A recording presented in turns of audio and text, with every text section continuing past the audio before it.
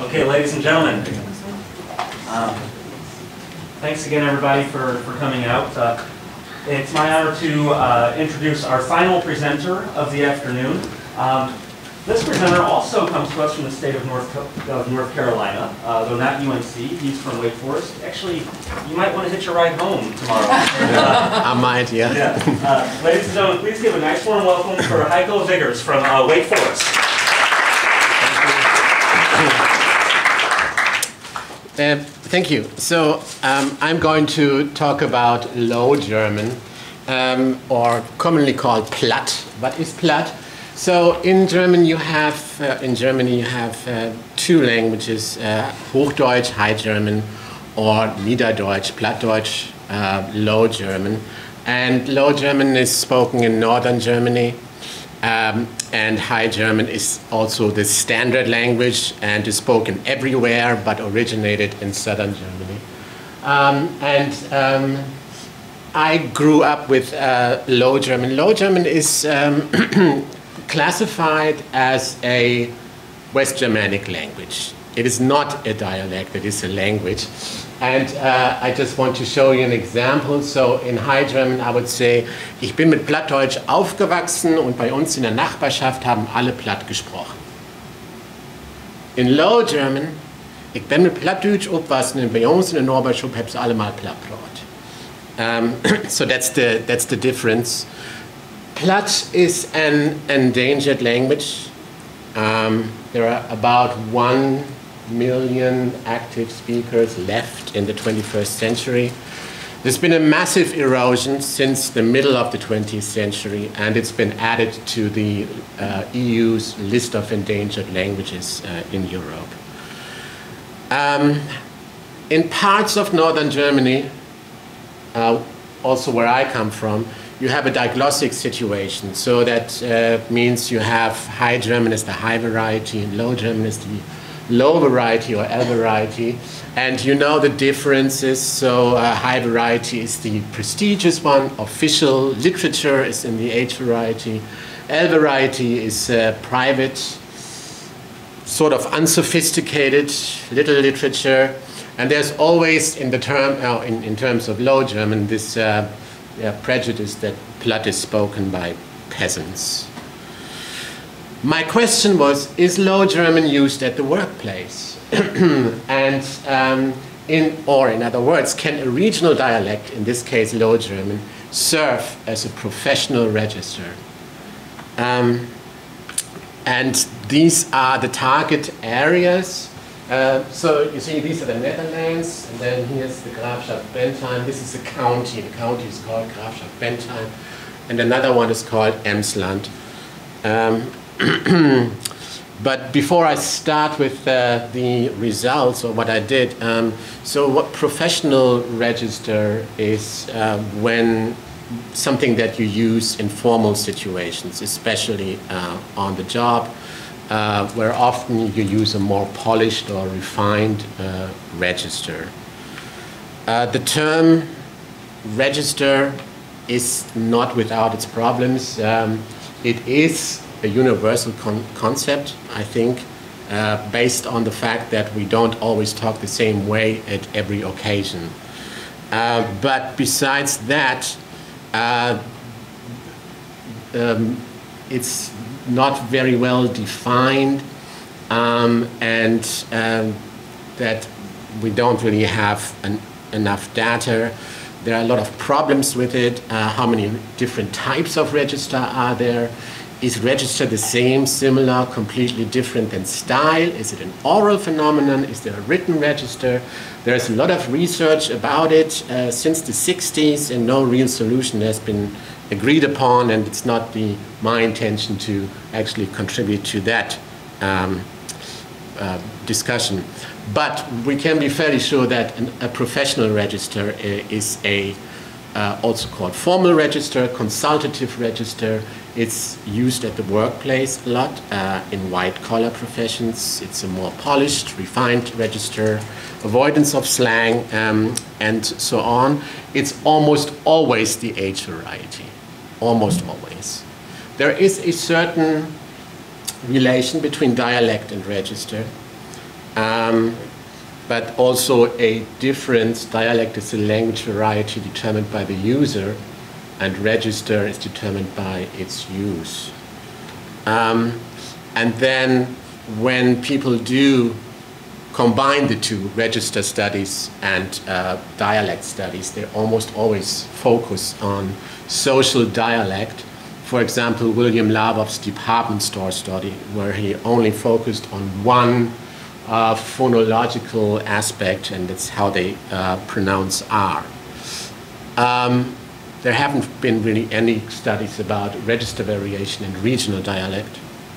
And also, uh, whenever there are studies with social dialects, uh, there's always a socio-economic explanation, meaning this social group speaks like this, and this social group speaks like that, and so on. And um, what I wanted to do is I'm not focusing on one particular phonological, morphological aspect. I'm talking about a dialect as a whole, and if it's used in a distinct uh, situation.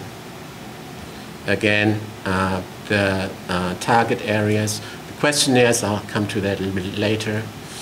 Um, so the methodology, what I did is I uh, designed questionnaires and I sent them out to 435 businesses from North Carolina to, to Germany. Um, and, um, and these were unsolicited.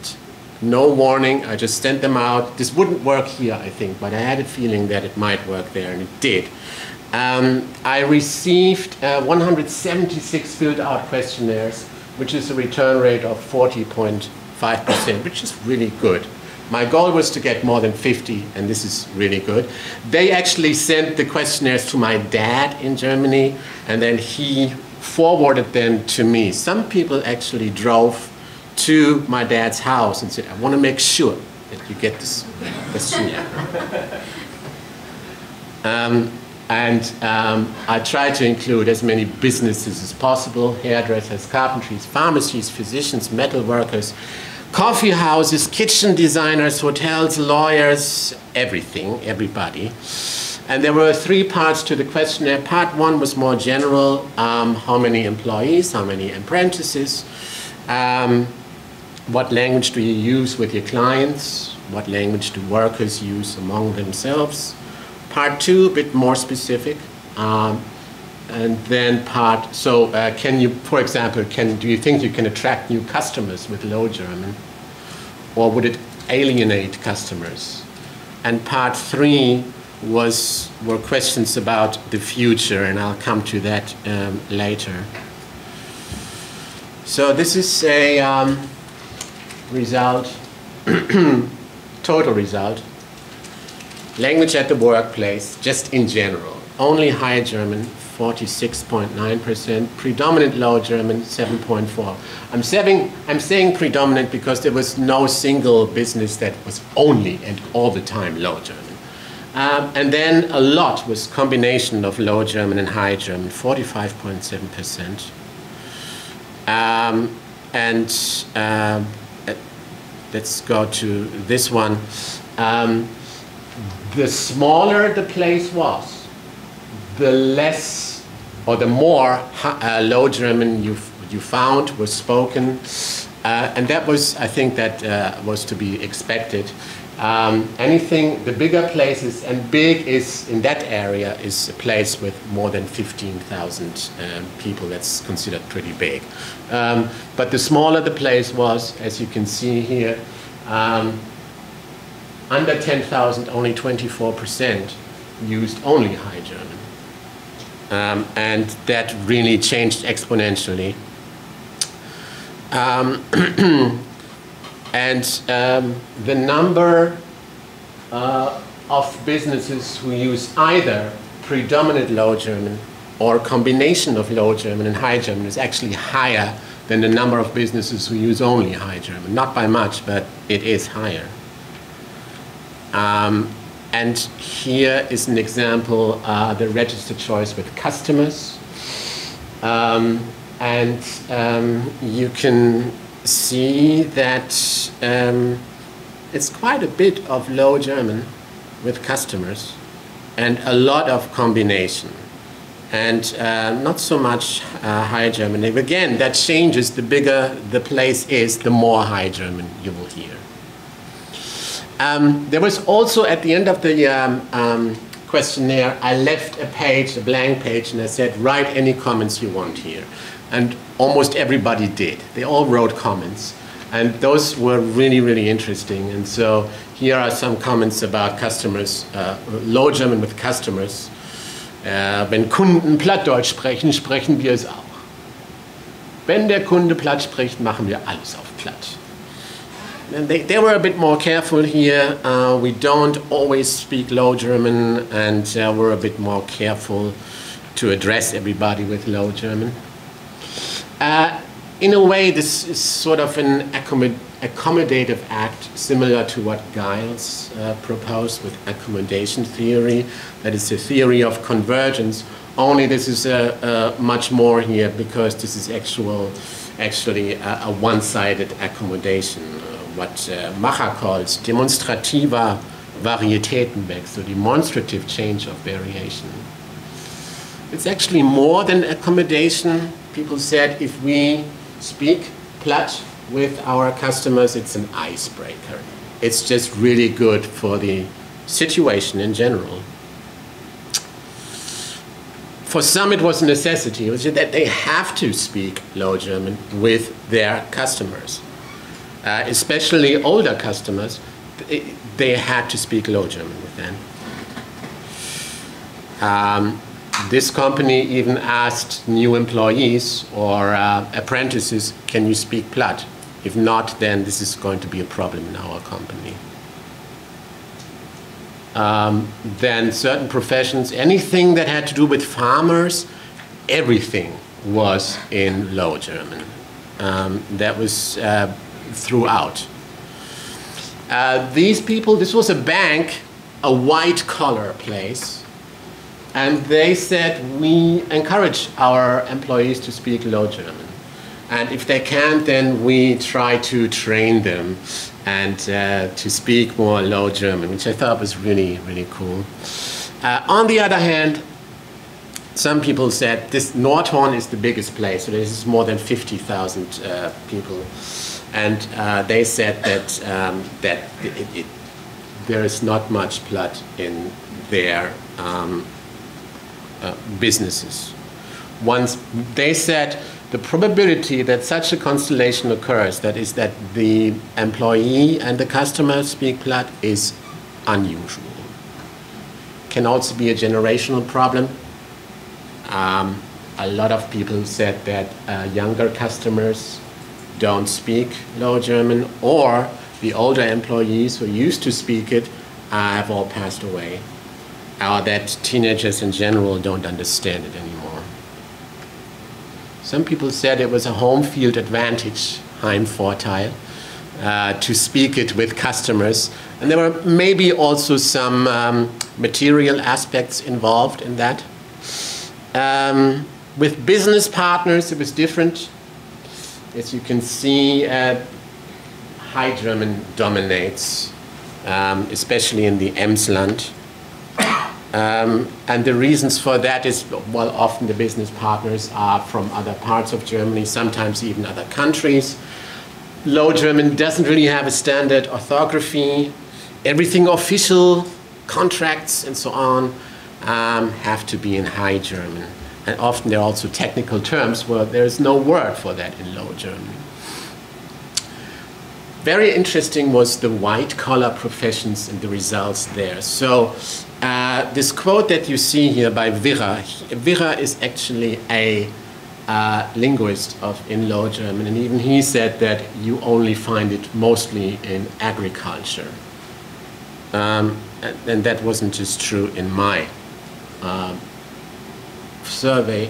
This was a bank, and they said that they even speak about uh, financing and um, money investments or refinancing a house everything's done in Low German, uh, which was really surprising.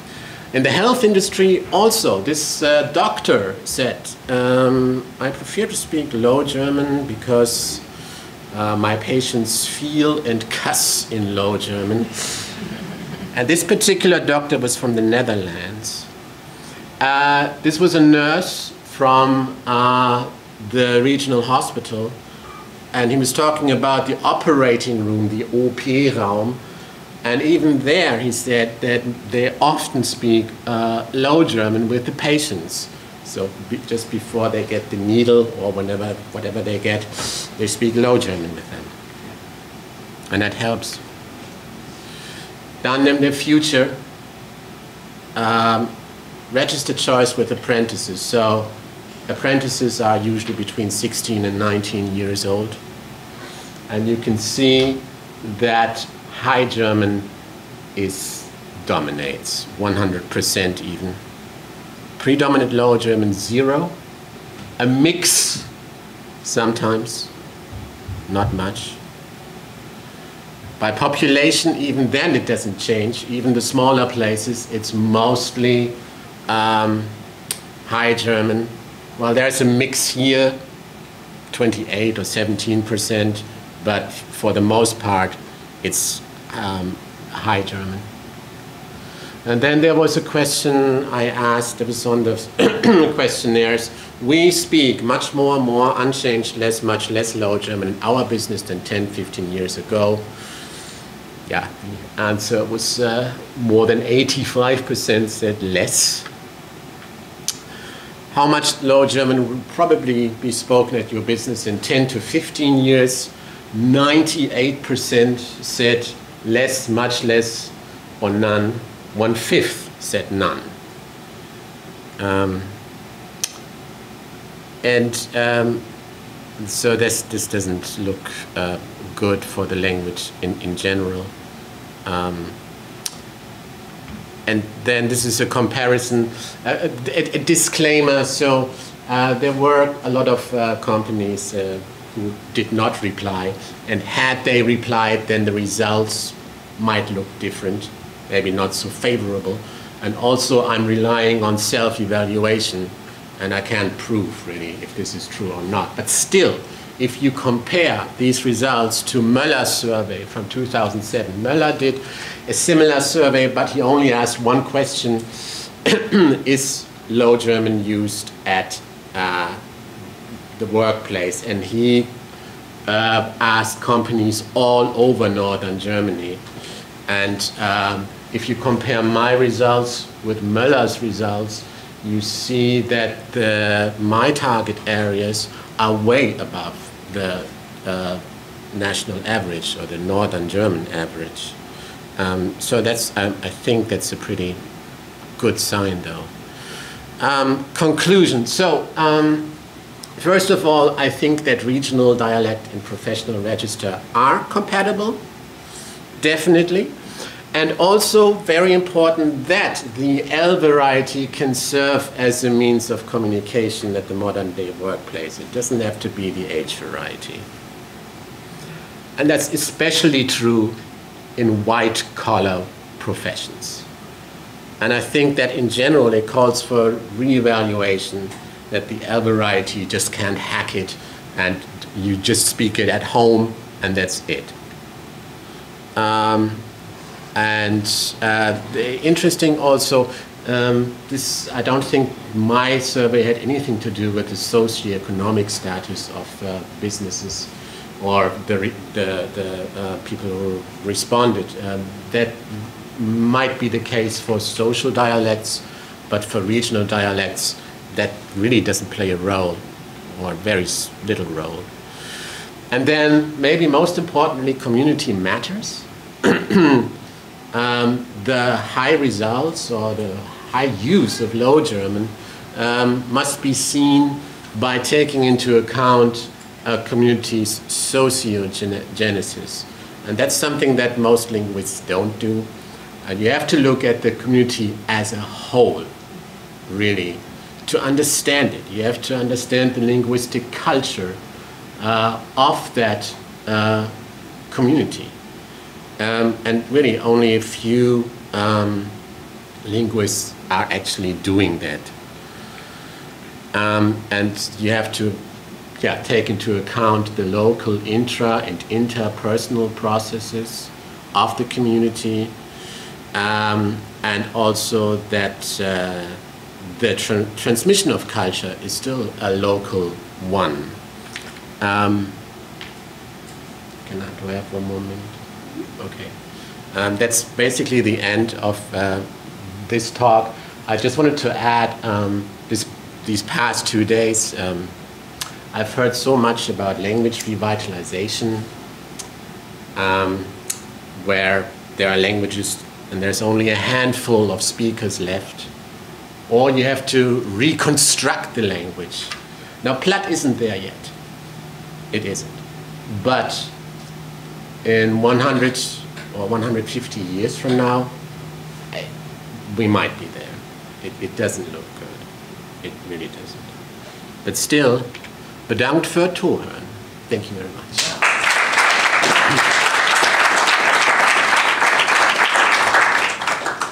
Yes. Thank you for your talk. I, I, I think um, the work that you're doing and the work that I'm doing have a- a Mm-hmm. much in common. Mhm. And I wasn't clear, I mean, you said the orthography is not fixed. Yeah, no. Um, But um, it- going back to the concept of linguistic landscapes, are are there signs like in town, in small? Yes, yes. So, uh, yes, just recently in my hometown, they changed the street signs, uh, so they're bilingual street signs now. There have been attempts to have a common orthography, but you run into uh, these problems that Low German is not homogeneous. So, 15 kilometers away, they already speak a different variety, and you can't produce uh, a common orthography that satisfies all of these varieties. That's really difficult. Well, and then a quick follow-up, I think one of the things that I've found in the community, the, the communities that I've been looking at, and what I've been told from members of the community, is education in early Yeah. childhood. Yeah, Is, yeah. is um, taught in school? Yeah, yeah, there are some, uh, there are attempts to uh, do that, uh, to have, um, teach that in elementary school at least one hour a week. Officially, they're not allowed to, they're doing it anyway. Um, yeah, and the nice thing is that they have a living link, most of them. So the kids can go home to a grandfather and say, hey, I just learned this and this in Platt. And then they can answer, oh, yeah, this is cool. Do you know what this is in Platt? And uh, so that as long as the living link is still there, that's really important. And uh, yeah, they also have reading competitions in Platt and things Oh, like wonderful. that. Yeah, yeah, it's, it's quite nice. That's really cool. And that, that's really supported by the local authorities too, and by local businesses a lot. It sounds like there are people that are passionate about it still. They care, yeah. I think the reason why I got so many returns was because people care. They really care about it, and they're afraid too that they I don't want to hog it's on. going the away. They- Um, yeah. So, yeah, that, that was a really interesting study. Uh, Yes. I was, and thanks for not doing the old soci- socioeconomic status thing, you know. Yeah, Yeah, yeah. that's, that's been done. Yeah. Um, but, uh, not, Yeah. I was wondering if you've, uh, like, considered, um, uh, I mean, maybe you're familiar with like Milroy, social networks, Mhm, uh, yeah, or, you know, yeah. communities of practice these kind of theories. Yeah.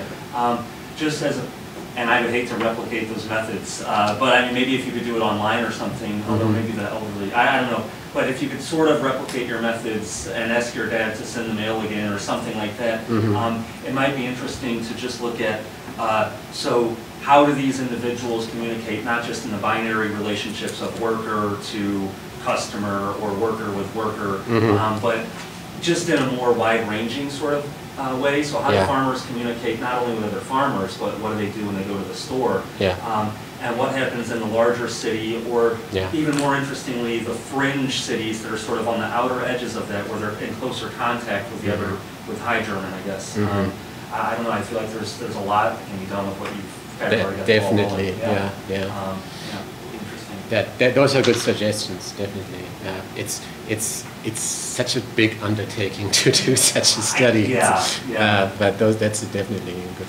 Do you think um, that you would have enough speakers that might have, uh, I mean, is there, I don't know, like a Facebook group or something, or is the population too elderly for that? Mostly, yeah, I think so. And there's also a sort of, mm, they don't necessarily believe that the internet serves them well Right, uh, because everything is either in High German or in English. Um, and so they kind of shun that anyway. Yeah, so the mail survey. Yeah. Wow, that's- I respect you for doing that. I would have given up. I would have not done it. I mean, international mail, you know, what's the postage, you gotta Yeah, worry about the yeah. exchange. It was a lot. Yes. Yes, please. So throughout your questions, you had three categories. Uh-huh. Basically, uh, High German, only Low German, and then the third category was mixed. Yeah. Can you further explicate what you mean by mixed there? You mean mixed relative to different constituencies?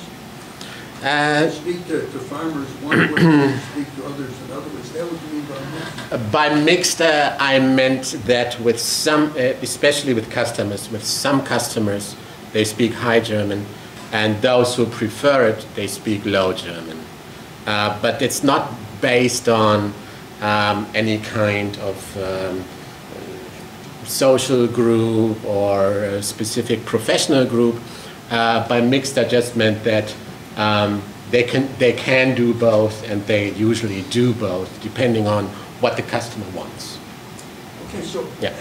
but one could argue that, uh, that some of that category could be dispersed into the other two categories. Yes, definitely. So if the, Yeah, if the- if the customer wants, Mhm. wants low German, Mhm. uh, yeah, then that could in principle go into the low German category. Yeah. That would, that would beef up your statistics. So I, I don't, you know, for me to say that it's mixed would mean something slightly different, I think, by what I know. The, the, the difficulty is when you send a questionnaire to people and it takes, it looks like it's going to take more than 20 minutes to fill this out or it's going to look really complicated, they're not going to do this.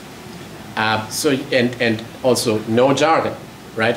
So you, you- have to keep it simple and interesting for them, for the, uh, the people who fill it out. That they say, oh, I'm cool, fill, I'm filling out a questionnaire. That, that's what you want. And uh, if I add that question, which is a good question, it would complicate things and I, I wouldn't get as many returns, unfortunately. Right, but it also would make me think right off the bat that the rate of, uh, high, of a Platt being spoken is considerably higher than what you're suggesting. It, that, that, that would be great. It's, yeah, it's definitely possible. Yeah. Then again, if you factor in those companies who didn't reply, to whom Platt might be irrelevant, it, it might drop again. It's a good thought, and one would hope it would be higher than that. If, um, Uh, you were, Oh, no, no, no, I've, I've- I've, I've done something. okay, This- I, I was just wondering, so, Yeah. so I noticed that the orthography and pronunciations are uh, very similar to Dutch, and it's, Yeah, spoken, yeah. it's spoken on the border. yeah. Are there many native speakers who find themselves in the political boundary of the Netherlands? Yes, this is actually a triglossia, if you want to, with two H varieties, Dutch and uh, High German and uh, Low German. And the interesting thing was, uh, on the comment page, at least 10 companies wrote that when, when uh, Dutch people, when Dutch customers come, and they frequently do, uh, they speak Low German with them, even though I didn't even ask about that. But they wanted to point that out. Yeah, we speak, we speak Low German with the Dutch. Um, but the further you go into uh, the Netherlands, once you're out of the Streektaal, so, uh, the less they understand. So if you go to Amsterdam and you speak Low German, they won't understand. It's not going to work. Okay. Yeah. But, I, I, I'm sorry, M- Mohammed, and then yeah, Oh, I'm yeah, yeah, The study on diversity and all this, yeah, um, Arabic, German, Asian, um, French, yeah. and Norway, from that. They're given as classic. Those were the original examples. Yeah. Yeah, Mhm. uh, so in Arabic, it's more about like these dialects, they emerged from the classic Arabic Mhm. itself, through contact, through away, going away from the center, all this. Yeah, yeah. Um, but from our, the beginning of your talk, you said it's, Yes. So they, they uh, Low German derived from uh, historically from Old Saxon, which is a different language. Um, and so they, they don't do, I mean, it's related to, to High German, but uh, they don't really go back to a common source. Well, ultimately, yes, but um, it's not that uh, Low German derived from High German. That's not the case. Then I think the literature should be corrected somehow. Yeah, I agree. Yeah. we think of Mhm. Yeah. as, Yeah. as an Arabic, but we grew up speaking the dialect and then Yeah. yeah. school started with the formal one. Uh-huh. So Yeah. We, we learned, like German students, that the low one is the main one, and then we go to school, we learn the high. Yeah. So I Yeah. think there should be something. Yeah. I, I would agree. Let's work on that. yes, yes, yeah. Good job. Thank you. Oh, I'm sorry, Ken, did you have one? More? yeah, yeah, yeah. Question, Yeah. and, uh, and I really want to tell you this because I think it might, um, it may seem like a ludicrous idea, and I just thought of it. Um, but one of the things that's really helped, uh, the presence of Gullah Geechee on the internet is, uh, in about two thousand, a woman, uh, who was from the culture, Gullah Geechee culture, but she was, had gone to school and was living in New York City, decided to come back and she, um, got some contingent people together and uh, became the um, somewhat, and she's a really controversial figure, the self-anointed queen of the Gullah Geechee tribe. Her name is, her name is Marquetta Goodwine, but she calls herself Queen Quet. And she has become the ambassador of propagating Gullah Geechee. And she goes and gives talks, and she, she has a face, face- Facebook post, she's, a- she's a charismatic figure. She goes to elementary schools, and so I know, um, you know, there's this, the, the class and, and Peach, I mean, they're very charismatic figures that, ch- that children respond to. Mhm. So it occurs to me, if you have a- an incredibly zealous person Yeah. who could adopt a persona Yeah. to, to make, um, to, to make a Platt, um, a cool thing, a fun Yeah, thing, something that the kids are Mhm. interested in, that will carry over. Because you Um, need media. I'm sorry? Because you need media. You, that- you need media, Yeah, exactly, yeah. so you get, she, she gets in the T, on TV, she gets, she spoke at the UN on behalf of the Gullah Geechee people, so, um, her, her, her self-promotion initially has become really incredibly powerful. She, she helped get the Gullah Geechee Heritage Corridor established, so Just as like a, as a, as a quick answer, uh, uh, there's now um, a Low German hip hop band Yeah. There you go. They're called 50 Pence, which is German or for 50 cents, so they're named after the, the rapper. And, uh, and, and that's, yeah, yeah, that's what's happening. you happening. get those on YouTube, and you Yeah, yeah, get some hits, and I'll then you send get you some the link. Oh, yeah, yeah, Yeah, I mean, it can, it 50 can, pence. I don't think, I'm not willing to write, dry Platt off yet. No, I'm not either. Well, so we'll, we'll So finish thank on you a note very much. Yes, Uh, the note of hope. Yeah, thank you. Uh, Trevor is going to say a few closing remarks. Um, Okay, I'll try to make this brief. I know we're all we're all itching to get out of this room. Um, firstly, I'd like to thank all of our uh, attendees today. Thanks for sticking it out. Um, I would also like to thank all of our speakers. Thank you for coming. Thank you for giving these wonderful talks. Um, thank you again to our plenary speakers um, for taking your time out of your busy schedules to come and give us your talks as well. Uh, firstly, tomorrow we will be in the same room. Um, we'll start again at 8:30 with um, more uh, coffee and bagels and that kind of thing. Um, beginning talks then at 9. Um, if you would like a T-shirt, um, we have those interest forms again in your folders. It's also on our website. In addition to that, we have a brief survey on our website. Um, if you have anything you think we should improve on, if you'd like to fill that out, we'd be uh, more than appreciative of that. Um, Okay. Uh, lastly, if you need receipts for your university, please contact me and we'll get those uh, uh, written up for you. And after this, directly after this, from 6:15 to 6:30ish, um, we are meeting at Transmetropolitan. It's a pizza restaurant bar. Um, it's just downtown. Um, you'll notice it's on the uh, list of restaurants on the back of your flyers. Um, so if you need directions, um, we'll all be moving en masse up there. But if you'd like to, we'd love to continue discussing linguistics over drinks. And uh, And we'll be going upstairs, probably, there's more space upstairs, right, Trevor? Yeah. Because if you walk into the place, you wouldn't know there's an upstairs, you gotta kind of look for it. So- but that concludes our second day. Thank you all for coming. Yay.